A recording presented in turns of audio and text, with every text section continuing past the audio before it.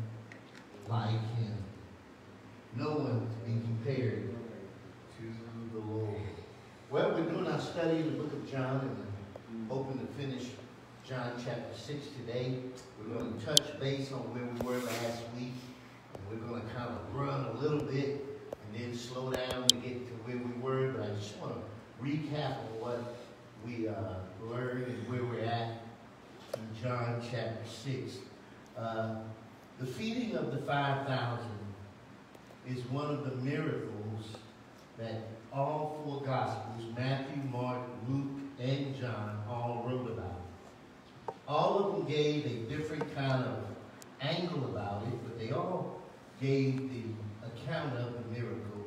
And there's some details that different ones talked about. Uh, in one of the other Gospels, other than John, they talk about how Jesus is moved with compassion and heals, and uh, they saw the miracles which he did. And because of that, they came clinging to Jesus. Many of people were clinging to Jesus. Because of that, this crowd has been drawn out from their homes, their cities, some a considerable long uh, uh, distance from their home. And uh, the Lord is compassionate to the natural need in man. We've often said in our circle uh, that you don't try to minister to a hungry soul, uh, a natural hungry. You feed that person. The man's hungry. We, we feed, feed him. Jesus met the need. He met the need naturally and fed 5,000 men. What a miracle. To give them all a wife, that's 10,000. Give them a couple kids. Now you got a lot of people who are eating. They're being filled. There's 12 baskets left. They really follow Jesus. Now, two things uh, uh, are, are, just uh, prominent. He's healed the sick. They witnessed that. Now he's fed them naturally. They're hanging around and not going to leave. They're following Jesus for considerable uh, length of time and going the distance in following him. One thing that's interesting in this, though, is the reason by which they're following him.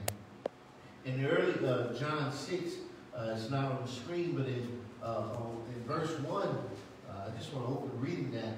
The Bible says, And after these things, Jesus went over the sea of Galilee, which is by the Sea of Tiberias, and a great multitude followed him because they saw the miracles which he did on them that were diseased. That opened the door for him to feeding of the 5,000 and giving them bread uh, and fish, and they had a wonderful meal uh, first seafood buffet we know of, and nobody was turned down, and they all began to follow Jesus. But Jesus began to give them a spiritual understanding based on a natural need that they could relate to. But he wanted them to understand spiritual hunger and how spiritual hunger is to be dealt with. He started talking about eating his flesh, drinking his blood. Uh, said he's given his uh, flesh. Uh, whosoever eateth his flesh, drinketh his blood, shall have eternal life. And we pick it up in John 6 and verse 16. And he's telling them this, they said, this is hard. This is a hard saying. Who can hear it? Now, I don't know about you. I've been in church all my life, just about in and around the church. I've met people who had small congregations, uh, churches, and they said the reason why people won't come because it's too hard. Their way is too prescribed and hard. I've heard that before. I heard people say it's too hard for them. They don't want to adhere to a strenuous gospel and the way they present the gospel. Well, Jesus is not meaning hard in this sense, but they are looking at this as a hard saying because in the natural, they don't understand what Jesus is saying spiritually.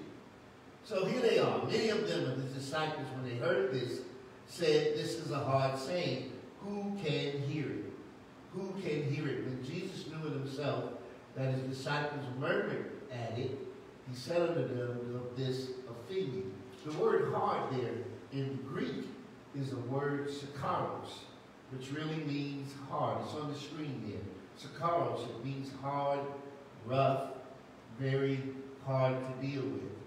Uh, Cycloros, I don't know if I'm saying that right, I'm butchering it probably, but it literally means hard. It means tough. Uh, uh, not hard in the sense that it can't be understood, but it is challenging to understand. So what's happening is that they're saying this is hard, and he says, are you offended? Well, we know from uh, reading our scripture, many of things Jesus said they were offended by. Uh, was it really hard to understand or hard to adapt to? In 2 Peter chapter 3, and verse 16, uh, we see that uh, 2 Peter 3, 16 and 18, the Bible says also in his all epistles, and Peter is talking about Paul, uh, in which some things are hard to be understood, which they that are unlearned and unstable wrestle with. Now, we talked about this briefly last week, about being unlearned and unstable and how devastatingly dangerous that is, and yet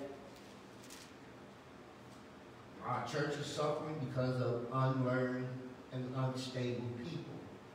We've been called to discipleship. Let me say this real quickly, and we're going to run. The whole tenor of this whole uh, uh, uh, lesson here in John 6, the Lord seems to be purposely allowing the people who have congregated themselves around him to come face to face with a hard truth as, as to almost see who's willing to go that hard distance or deal with uh, what he's saying in an acceptable manner. Uh, the Lord proposes it to him in such a way that it is seemingly hard. It's almost like he's driving or thinning the church out. He's really proposing to them what would challenge them. It would either drive them or push them away. And for many of them, it was hard. It was tough for them. And there are many things in Scripture that are tough. Peter talking about Paul, who was so diverse and dealt with so many subjects, he said that uh, some of these things are hard to be understood. He didn't say they couldn't be, because it's hard does not mean it can't be. I have one son who loves a challenge. Uh, you give him something hard to do, and he's going to figure it out. I mean, it might take him a day or two or whatever. He's going to wrap his brain. And I've had to try to stop and say, man, don't, don't worry about it no more. And that's, that's not enough for him because he loves a challenge. He loves to fight, figure a way how to do something that seems impossible. Uh, he talks about unlearned and unstable wrestling with certain things they're trying to understand. In verse 17 and 18, Paul said, Peter says, Ye therefore, beloved, seeing how you know these things, Beware lest ye also. Now here's a passionate warning to them because they too, if not left to learn and grow, will be led astray and fall from their own stability, their steadfastness. So he says in verse 18, grow. We cannot emphasize this enough. Grow. And this is the thing people seem to from it. The whole idea of the Christian life is that we grow in the grace and in the knowledge of God. The Lord said himself, one uh, of the passage, take my yoke upon you and learn of me.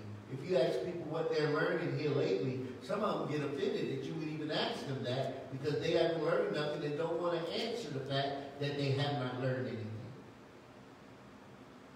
But we're called to learn and grow. We think discipleship is some class you get into that's more elite group of people that, that come into the church, when really every believer that come in to faith in Christ are called to discipleship. And the tragic thing is we think discipleship is some separate class that people choose to get into. Jesus said, you go and you make disciples. You don't ask them to do they want to. You know, when you come to Christ, you are to become a disciple of Christ, a person who will learn and grow. Grow in grace and in the knowledge of our Lord Jesus Christ. And when you begin to grow, you become stable and steadfast, unmovable. Jesus, Jesus often said some hard things. He often said some hard things. We need our spiritual understanding in, in 2020. That's, that's critical. We need that spiritual understanding. In Matthew chapter 23 and verse 15, Jesus says to them, uh, well, in John 6, 62, uh, uh, he said, You'll see the Son of Man where he was before. It is the spirit that quickeneth and the flesh profits little. And then he said, The words that I speak are spiritual and they are life. So you can't take the natural and try to understand spiritual from a natural standpoint. This is why many people they, they, they plunder and some even fall by the wayside because they're never going to understand spiritual truth from a natural standpoint. The natural man receives not the things of the spirit. Uh, uh, uh, they're foolishness them. Neither can he know them because they are spiritually discerned. And this is why our reliance is on Christ and Him alone. That's why uh, the Holy Spirit is critical. In 2 Corinthians chapter 2, uh, uh, chapter 3, Paul says that we're sufficient of ourselves, not that we are, to think anything as of ourselves. Our sufficiency is of God, who hath made us, look at this, made, that making process, able ministers of the New Testament, not of the letter. And head knowledge, I talk about this all the time.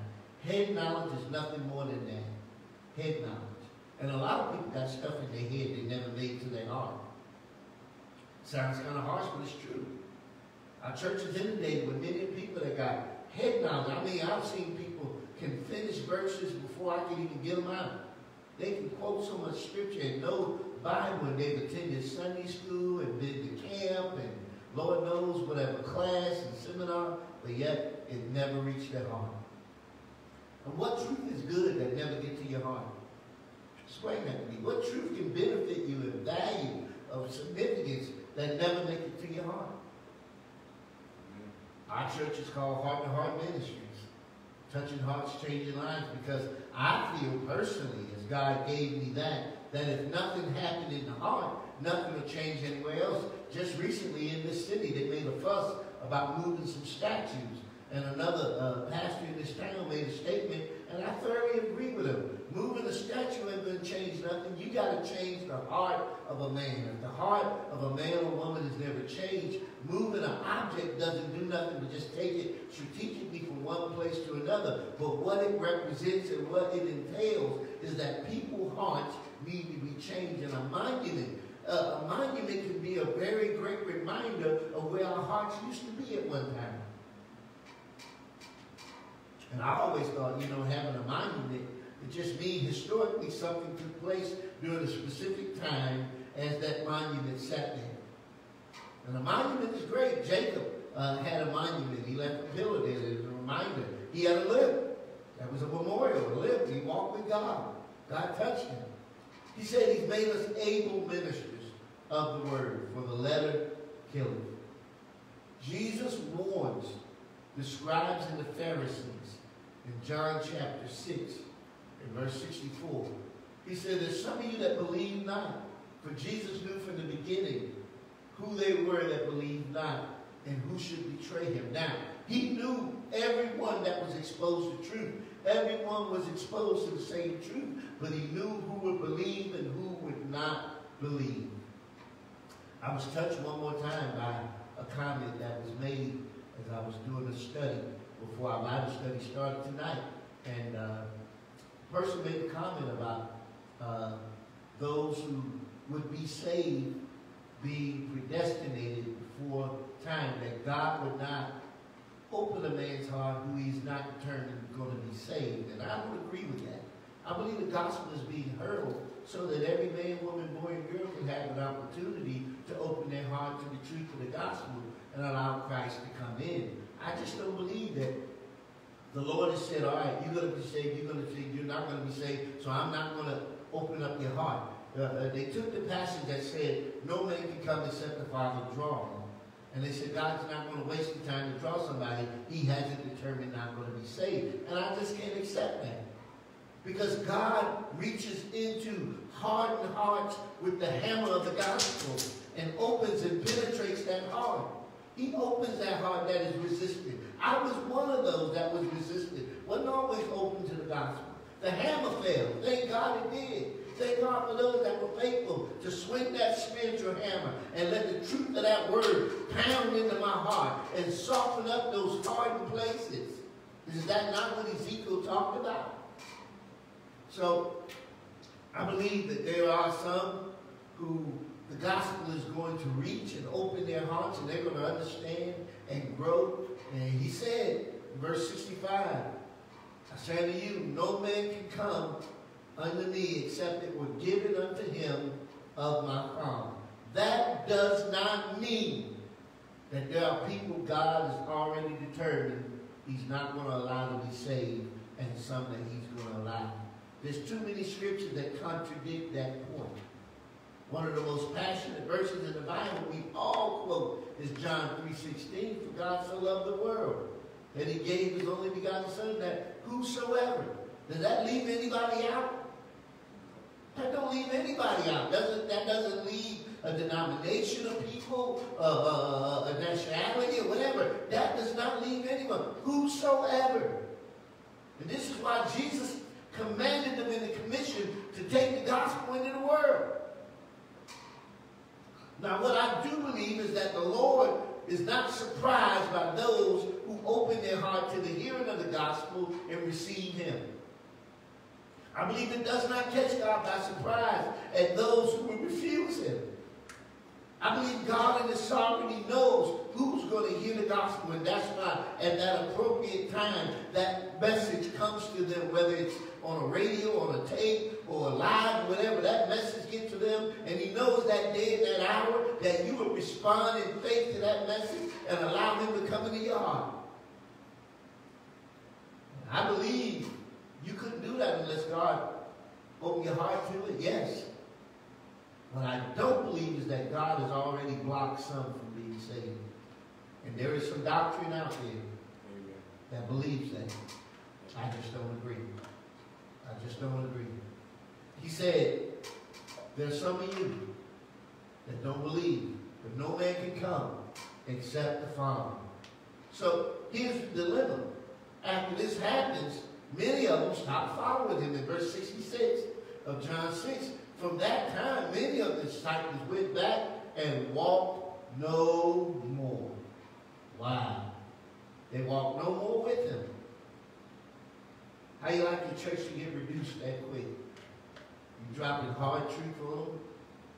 You preaching the gospel? And the truth will do that now. The truth will thin out of church. It'll thin out of church. Now, some people come and they're excited and they love the things that are going on. You know, you got your version of the fish and the bread, you know, they come enjoying the good stuff. And then once you start telling them, hey, you know, God don't want you shacking up. Uh, this is against God's word. Uh, all of this lifestyle that's, that's contrary, God expects you to uh, take on his identity and with that comes a, a restraint in a sense that, that, that limits you. You can't do, you're not your own. You're bought with price. Once people start figuring that out, once the reality that truth starts zooming in on them, some get very difficult. Some change their mind about walking, you know, this church thing. I've heard it. You know, some will just drop off on you. You want to thin out a crowd? You preach the gospel. You go, I, I tell you what, take an assignment. If you were to go in some of these churches where big crowds are, you notice the message never gets deep and personal. It never really zeroes in on the things that will challenge the comforts of people. You start challenging their comfort zone, the things they love, and, and the immorality that might be hidden within a, a church. And I'm not saying because there's a big crowd that's prevalent. Uh, uh, some people come to church and they've never really accepted the call of Christ as a disciple. And when they do become that, they are coming face to face with that requirement. Jesus, many a times, had people walk away from him. Remember that man came and said, uh, I've done all this for my youth, and then the Lord found that one spot. And he walked away sad because he had a lot of riches. He couldn't part with them. Many other times he said things that thinned a crowd out. A crowd, a whole mob brought a woman to Jesus, wanted to stone her. You know the story. And Jesus just simply ignored them. They should have let that be enough, but it wasn't. They pressed the issue, and then he said, Look, those of you without sin, you cast the first stone. Wasn't no stone threw, was it? And there's some scholars that say when Jesus bent down and write on the ground, he was literally writing the names of those who had, was in error and maybe their sin. We don't know that exactly, but we know there were convicting words that touched them, and they were not comfortable to throw a rock because they sin, it, the weight of it fell in on them. It is tragic when people stop following and don't want to walk no more with Him. Like I said before, I've had people leave our church, and uh, you know it's hard. I, I I don't like to see people go, but sometimes things happen. People grow, uh, but they went on to other churches. Now those that left and didn't go to church no more, and left because they didn't like something that was said from Scripture. Those that left because they didn't want to bring their lifestyle uh, to certain levels and they didn't want to accept the truth of God. Now, you know, and they didn't go to another church. They just went on back to the cesspool of sin and enjoyed their lifestyle as they, they like it because they never want to change. We love people. I don't jump on folks. The Word of God will find you out. It'll reach you. And there are many people that have come to our congregation. We love everybody. I accept anybody. You can come, I will minister to you, love on you. But if you're in sin, I don't care what church you go to, somewhere the truth of God will bring you front and center with the truth of God and challenge that particular area in your life. If you're going to be on the truth, it will challenge you. In Zephaniah 1 6, uh, uh, well, that word walk is critical. In Zephaniah 1 and 6, Let's look there. The Bible said, and them that are turned back from the Lord, and those that have not sought the Lord nor inquired of him. Now, Zephaniah 1 is talking about the judgment of God, and he's talking about God and his judgment against those who have turned back from the Lord, and then those who have not sought the Lord. It's two, two categories of people there. Those that knew him and was walking with him and turned back, and those that have not sought the Lord nor inquired of him. What should be the inquirement? that they might do the work of the Lord. The writer in Psalm said, one thing have I desired, and that what I seek after, that I may dwell in the house of the Lord and inquire. What are you inquiring? Who I am in him. How I must live in light of that. Remember I told you about that indicative that indicates who we are in light of the finished work of Christ. And the imperative is what we must do in light of who we are. And those two work together. When people come to our churches and they join and they become in, in faith with Christ, we help them understand their identity in Christ. We want you to know who you are in light of the finished work of Christ. You are a child of the King, called with power now. And that royalty that you might live a life above sin and above reproach. Now we got to show you what you must do in light of that. And that's where the problem comes. Because nobody want to want to accept what has been said in light of who we are. He said, come out from among them. We want to hang out with them. So many things God has called us to in holiness. That, that, that, that holiness becomes our house. It is the passion that we should pursue after. So we see the judgment of God comes against those. Uh, in Hebrews 10, the Bible said, uh, we don't look at those who have gone back. We live by faith. The just lives by faith. And he said, my soul has no pleasure. That word pleasure means I have no encouraging thoughts toward that person. And he said in verse 39, we are none of them that draw back. We're of them that draw back, but of them that believe to the saving of the soul. This whole scenario he is really talking about discipleship. Discipleship. In John 6 and uh, 26, Jesus hit it right on the head. He told them, he said, you seek me not because you, uh, not because you saw the miracles, because you ate and you were filled. He knew the reason by which they were seeking him. And what what is your reason today? Are you seeking the Lord for a genuine reason or because he did something and you wanted to do something else? Everybody has a need of some sort. But is that your main reason? Some people come to church looking for God to fix things. And if you don't fix things within a prescribed amount of time, they'll leave. They'll leave and go somewhere else or go back to where they were going. I remember one time being a part of another ministry and for a brief season, person came because they were going through something relational wise. And they were looking for some relief. They were so hurt. They were looking for uh, God to heal their hurt and fix their situation and fix it according to their liking. And when that did not happen, they did not stay. They did not stay. Many people come seeking God for what they can get.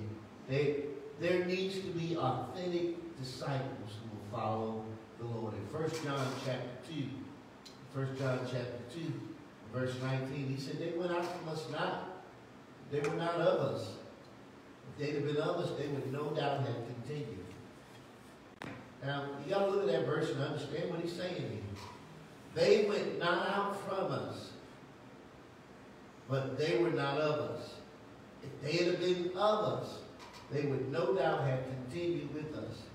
But they went out that they might be made manifest that they were not all of us. Now the Lord says something very probing about the wheat and the tare. He said they're growing together. He's going to be the one that separates. And I believe that in every congregation you have some wheat and some tare. We don't know who they are, God knows. But in the process of time, by, by, by, by time, it'll tell. And those that go out will go out and you'll know for uh, their, their, their prompt to go. They're so easy to go. It's amazing how easy some can leave the church and go right back to the world. Perhaps they never left the world, they were just going to church. Perhaps they never really truly gave their heart to God. He said they went out from us because they were not of us. If they would have uh, been of us, they would have stayed. I believe Jesus, when he prayed, he said, Lord, I didn't lose any except the son of perdition. Look at John chapter 17. He said, I didn't lose any. When the Lord does a work in the heart, when he's truly allowed to do a work in the heart, it's a sustaining work. The Bible speaks of you being sealed in Christ. Now, I'm not the smartest man, but my mother used to seal stuff in a jar. And when she sealed it, she had a pantry in the back. That thing was like a gold mine because she had all these sealed preserves and okra and all kind of stuff. She sealed it. And that stuff will last forever until you break the seal. And the last time I checked, if the Lord Jesus seals you, you're sealed. No one can break that seal. I don't argue with folks, but I believe if we're sealed, the only person can break that seal is the person who sealed us. I always say you can never miss what you never had. You can never miss what you never had. But I trust and pray. There were some authentic followers of Jesus in John chapter 6, verse 67. Jesus said unto the twelve, because now this crowd has been reduced. And if you want to reduce a crowd, if you want to see who's really with you or not, go to preaching hardcore truth. Go to saying the hardcore truth. Stop exciting people. Stop, stop entertaining them and preach the truth. I saw something today that just shocked me. Uh, a pastor got up and said, we're going to preach about money. And he took the podium, he's kind he had a little podium like this, and moved it off the stage and this music started, and all of a sudden, this skit, this guy come out dressed like a dollar bill, and it was a skit. And people were just entertained for the moment about this message about money by way of a skit. And I'm thinking we've replaced the gospel with entertainment. No wonder we have big crowds, and this church was Big old crowd up in Georgia, big old crowd. Thousands of people, one of the largest churches in that area. And I see why now we got such large crowds coming now who are seeker sensitive, seeker friendly, but yet do not have the passion of the Lord. You go to preaching certain truths and they'll thin out. They'll thin out. Jesus looked, he took a church from 5,000 to 12 people. Sound like the board to have a meeting and fire that kind of pastor woman.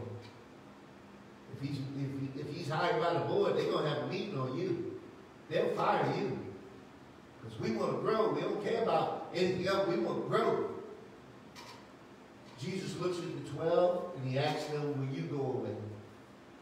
Now, Peter, and y'all know a lot of people have said a lot of things about Peter. We jumped on Peter, but we got to give him credit. Peter deserves credit. Maybe everybody else was scared to say something, I don't know, but Peter, he jumps out in front and he says, Lord, where are we going to go? You have the words of eternal life. He gets it. He gets it. And he said, we believe. He's speaking for the crowd. The 12 that is with him. Now, Judas is a part of that, and he's, he's going to betray him. But, but he's speaking for those who have connected with the Lord by way of this 12, this, this concentrated, authentic group of people who, no matter what you say, they're not leaving. And all your congregations, you have You have that authentic group, no matter what you preach. With this gospel, they're going to stick right with it. I've had people say, you preach too hard and walk away. I've had people say, oh, I don't like that. They don't like certain things because they upfront and personal. It shouldn't be hard. It shouldn't be. And I'm not going around as a dogmatic preacher. I, I was raised in an apostolic church. You talk about some dogma. I've heard some. I've heard preachers jump on you about what you wear. Time you get in. I've heard preachers say you can't be saved unless you do this. And they got to verify you as you do this. And then they got their little list to go down. It's not by faith, grace alone. I've been through that, so trust me, I know spiritual dogma when I hear it. I'll never forget I was at a church invited to preach a revival. And uh, folks were coming, and it was great. God was moving. And this young lady showed up, and uh, preacher goes to her after the service. And uh, this was her first time there, maybe first time in church, I do not know, but I know it was her first time there. And his statement to her made me shake. He said, come back tomorrow, but put a dress on. He did not want her to come back with pants on. He wanted her to put a dress on, and I'm thinking, why do we make such a adamant doctrine about something that is so irrelevant to salvation? She needs to hear the gospel message. God know how to talk to her about her clothes. We, we, we, we so busy trying to do the work of the Holy Spirit. It enraged me, and she didn't come back no more that week. And I thought it was disappointing that we would make an issue out of it, but, but there's some that do. They take a couple of verses and they run with it, and next thing you know, they make dogma out of it. Peter says, where are we going to go? As to say, where else is, what else is satisfying and nourishing as you? I've not found it. Remember now, this man left his career to follow Jesus.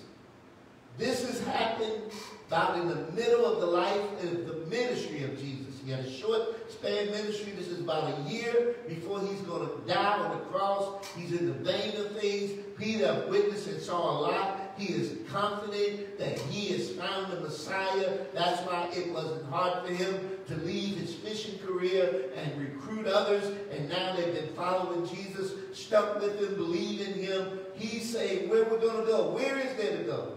And there many of us can feel like that. Where else is there to go? What is there to stop doing now and go back to doing? Came from a cesspool of mess that I don't ever want to go back. What am I going to go back to the trade winds bar? Go back to playing and drinking and doing the drugs? No. Jesus said, you got the words of eternal life. It was those words that draw me out of sin. And it's those words that's going to draw us into the kingdom and into the glories of heaven. And we believe and are sure that you are the Christ. Thank you, Peter. You get a bad rap But he got it right. John chapter 5, verse 24. Jesus said, He that heareth my word and believe on him that sent me have everlasting life and shall not come into condemnation, but is passed from death unto life. Now look at these statements Peter made, and I'm going to run through them real quick as he got it right. Uh, at, Caesarea, at Caesarea Philippi, in Matthew chapter 16, verses 15 through 17, Jesus asked the question, Who do men say that I am?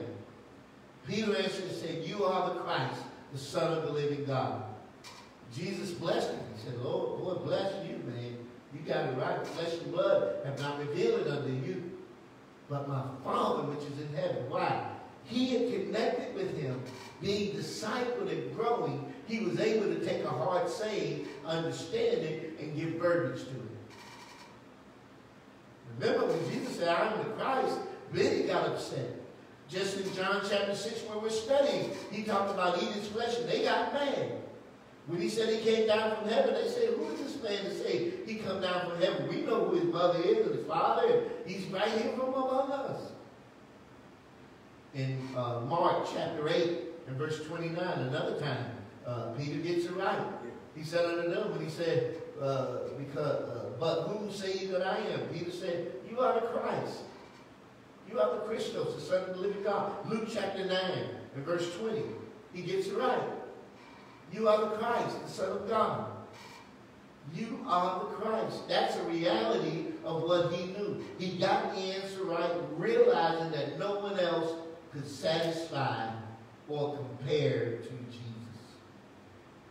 I love that song that says there's nobody like him. My mother-in-law used to sing. I love to hear those old saints sing. We sing these songs, but those old saints could sing with such conviction. Can't nobody do me like Jesus. Man, I love to hear my mother-in-law sing. Can't nobody do me like Jesus. What a truth. Who is there to go to? As the psalmist said, whom have I in heaven but you? You are the strength of my life, the source. As we close in John 6 and verse 70, Jesus said unto them, Have not I chosen you twelve?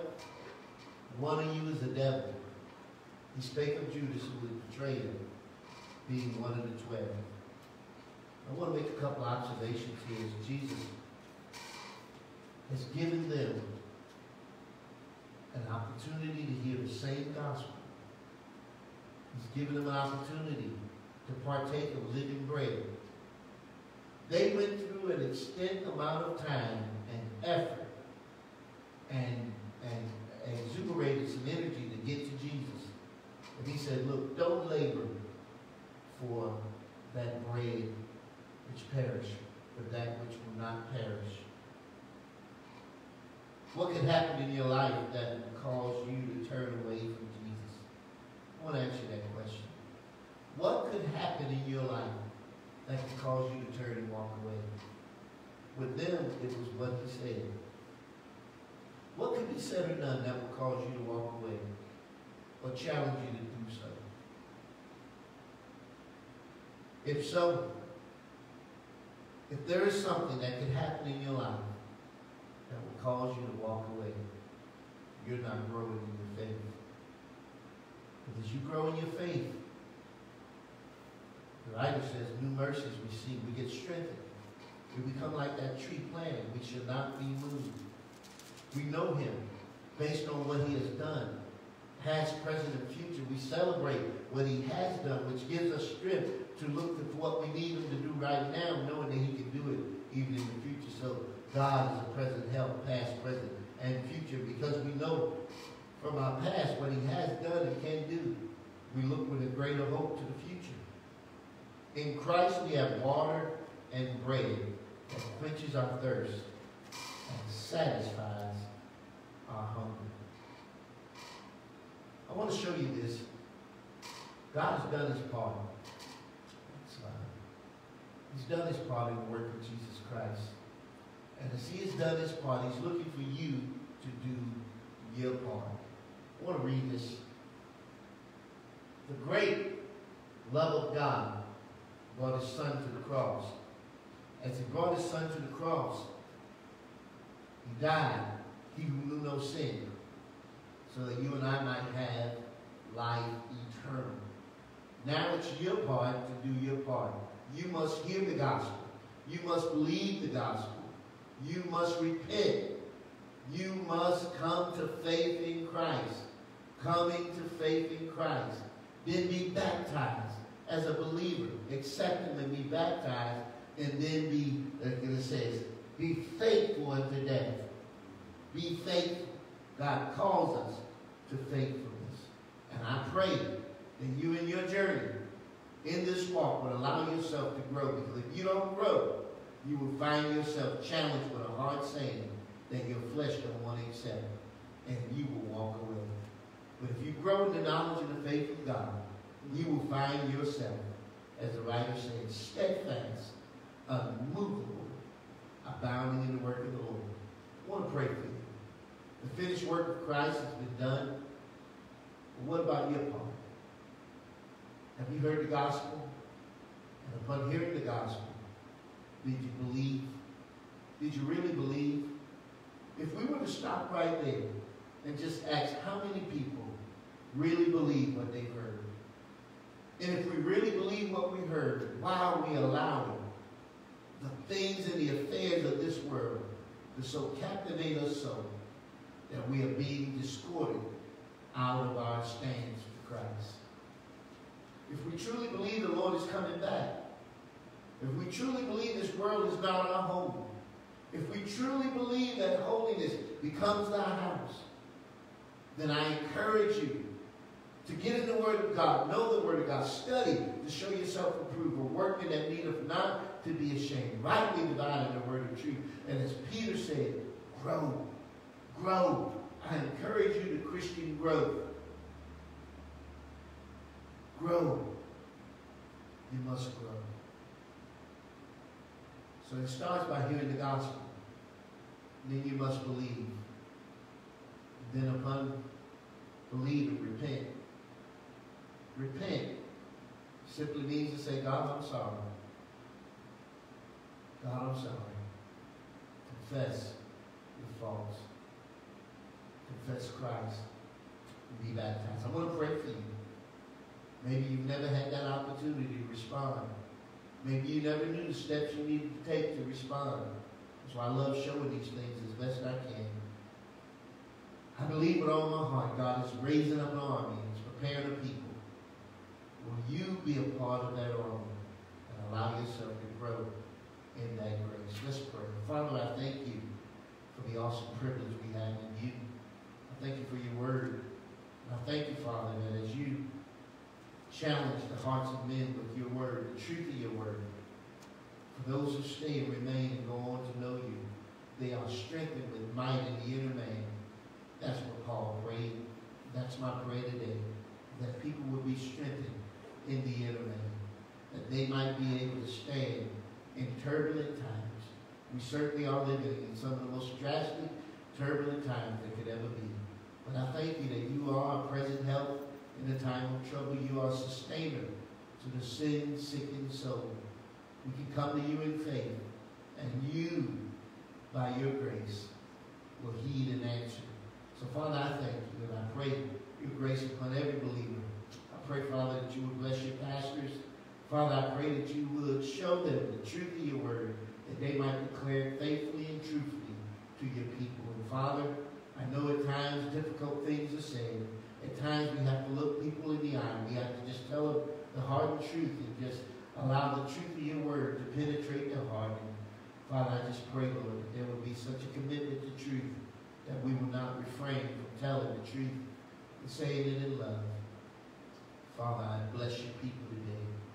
We so thankful for your word and for your grace and your kindness to us. Go with us. Be with us. Bless your people. Father, I pray that you would strengthen them and guide them as we look for guidance. Guide us. Direct us. Bless your people. Bless those that are sick. Bless those that are going through. Father, every need in the lives of people, meet it. Father, give us the desire to desire what you would have us to desire, that we might pray and look to you in faith. We thank you for it. We believe it in Jesus' name. Amen. God bless and be upon you. God's done his part. I pray you do your part. Join us next week when we start John chapter 7 as we continue our journey through the book of John. God bless you. and Heaven smile upon you.